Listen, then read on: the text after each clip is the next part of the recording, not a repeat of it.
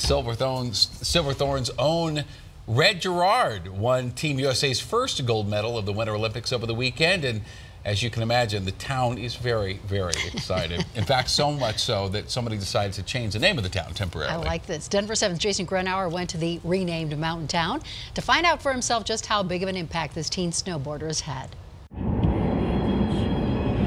So you make the drive out of the Eisenhower Tunnel down the hill on a windy I-70 to a place known for picturesque views, an outlet mall, and its colorful name. Silverthorne was a judge uh, probably at least 100 years ago. But if you take some paper, some binder clips, and a 17-year-old Olympian, and it becomes a town not about silver, but about gold. Somebody, uh, you know, I think probably under the cover of darkness, decided to do that.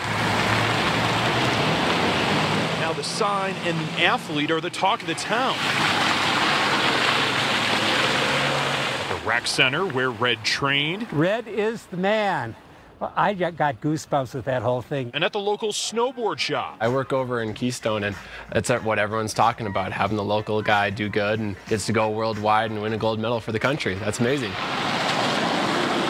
the official ruling on the sign from Town Hall. We've decided, yeah, we'll, we'll leave that up for a while because it really is a fun way to share it. And maybe even a red and gold parade? We are planning something, so we absolutely will be uh, doing something in Silverthorne to celebrate. And with Gerard and two other local athletes still set to compete in these Olympics, we could have the possibility of a gold, silver, and bronze thorn. For that, we'll just have to wait and see. Reporting tonight in Goldthorne, formerly known as Silverthorne, I'm Jason Gruenauer, Denver 7. There's room. There's I love room. that Do so it. much. Yes. That's great.